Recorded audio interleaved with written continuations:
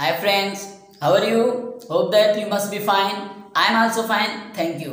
तो हाजिर है आपका दोस्त बालम दास आपकी खिदमत में एक और बेहतरीन वीडियो के साथ और आज की हमारी क्लास नंबर है 99. Today we are going to start our class number 99 and in this today's class I am going to teach you what is letter, what is word and what is sentence. तो friends आज की इस video में मैं आपको सिखाऊँगा कि हरूफ क्या है जो है, लफज क्या है और जुमला जो है वो क्या है। तो फ्रेंड्स जुड़े रहना मेरे साथ इस वीडियो में इन तक। आज मैं आपको एक बहुत ही इंपॉर्टेंट चीज़ जो इंग्लिश ग्रामर में है, वो सिखाने जा रहा हूँ। सबसे पहले मैंने ऊपर लिखा है वाट इज़ लेटर हरूफ क्या है? अब देखिए, ये एक बेसिक क्वेश्चन है कि हरूफ हैं क्या? हमें पहले इस चीज़ को समझना चाहिए। वाट इज़ लेटर हरूफ क्या है?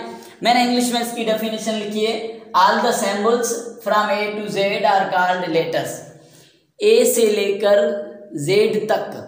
या हम उर्दू की बात करें तो जो है अलिफ से लेकर ए या ई तक तमाम जो निशानियाँ हैं, उन तमाम निशानियों को जो है हरूफ कहा जाता है। क्या? जो निशानियाँ हैं, इंग्लिश के अंदर ए से जेड तक तमाम निशानियों को हरूफ कहा जाता है। अब उर्दू की बात करें तो भी ऐसा ही है कि अलिफ से ए या ई तक तमाम निशानियों को जो है हरूफ कहा जाता है। इसी तरह हिंदी में भी जो बेसिक हरूफ हैं, उन तमाम जो बेसिक निशानियाँ हैं, सॉरी, उन तमाम को जो है, हरूफ कहा जाता है। तो ये समझ में आ गया आपको कि what is letter all the symbols from A to Z are called letters आते हैं नंबर टू पे। ये नंबर वन है और ये हमारा होगा नंबर टू नंबर टू हमारा व्हाट इज़ अ वर्ड लफज क्या है?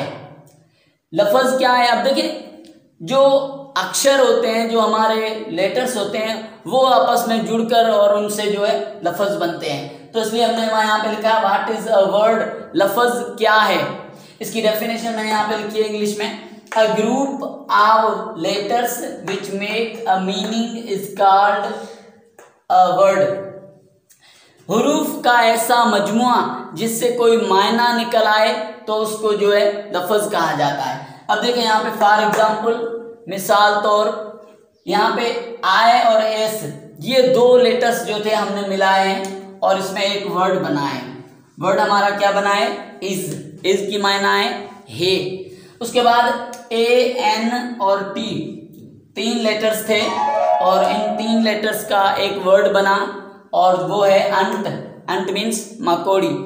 अब आते हैं नंबर थ्री पे, जो कि है चार लेटर्स का। बी डबल ओ या बी ओ ओ के बुक बुक मीन्स किताब, और हमने यहाँ पे लिखा है एक्सेट्रा उर्दू में भी यही लिखी है डेफिनेशन के हरूफ का ऐसा मजमुआ, यानी दो हरूफ मिलकर तीन, चार या उससे ज़्यादा जो है मिलकर लफज बनाते हैं। हरूफ का ऐसा मजमुआ जिसकी कोई मायना निकले निकले तो उसे लफज कहते हैं। मसलन, यहाँ पे हमने दो हरूफ मिलाए हैं, हे और ए। ये बन गया हमारा हे। और यहाँ पे हमने कोई पाँच लेटर्स जो है मिलाकर एक लफ्ज बनाया है और वो बनाए मकोड़ी। और यहाँ पे जो है किताब, चार लेटर्स हमने मिलाए आपस में तो हमारा एक वर्ड बन गया है किताब। तो फ्रेंड्स अब मैं आपको जो है समझाता हूँ sentence what is a sentence जुमला क्या होता है? जुमला क्या है? व्हाट इज़ अ सेंटेंस जुमला क्या है?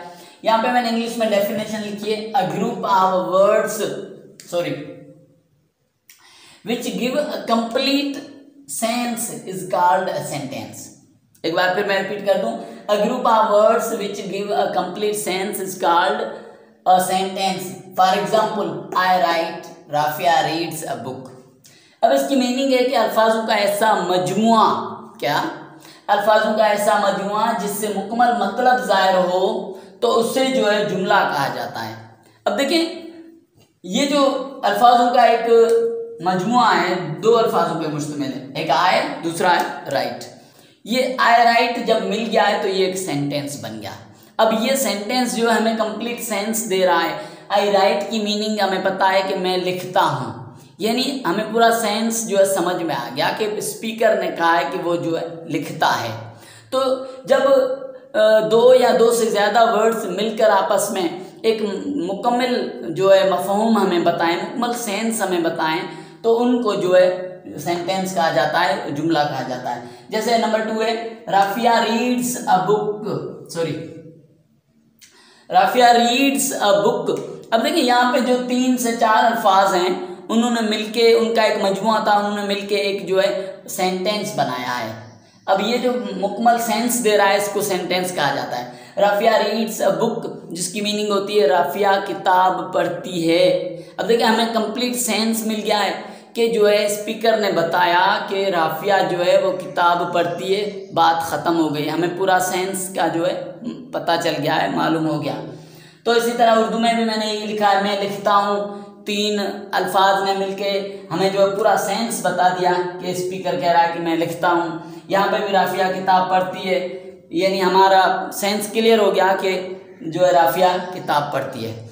तो फ्रेंड्स आज की इस वीडियो लेक्चर में मैंने आपको what is letter what is word and what is sense sentence sorry ये तीनों जो है, अच्छे तरह एक्सप्लेन करके आपको बता दिया है। मैं उम्मीद करता हूँ कि आगे जब भी आपसे ये तीनों चीज़ें पूछी जाएँगी कि आखिर what is letter what is word या वाट इज़ सेंटेंस तो आपका जवाब जो है बिल्कुल दुरुस्त मिलेगा। तो फ्रेंड्स अब आपका दोस्त बालम दास आपसे इजाज़त लेगा। फिर बहुत ही जल्द हाजिर होंगे आपकी खिदमत में ऐसी शानदार वीडियोज़ के साथ। तब तक अपना ख्याल रखना टेक केयर टाटा।